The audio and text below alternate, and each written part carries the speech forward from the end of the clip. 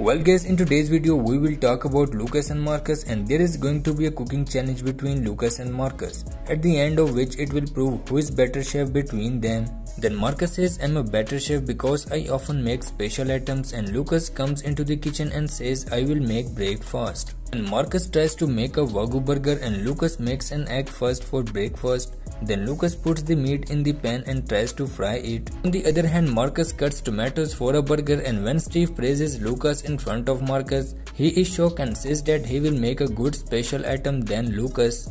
Meanwhile, Lucas' meat is cooked and Lucas seems very excited to win this challenge and Lucas admires his food so much that whoever eats my food will continue to admire me. On the other hand, Marcus' burger is almost done and then Marcus goes and sees Lucas cooking. Lucas is working hard on his food and Marcus is watching him silently. Then Lucas' food is almost ready. Then Lucas goes to see Marcus' food and Lucas says that I don't think Marcus cooked better than me. And when Lucas goes towards Marcus, he sees smoke coming out of Marcus' head as if there was a fire. Steve and Lucas was very worried by this scene and Marcus is not there.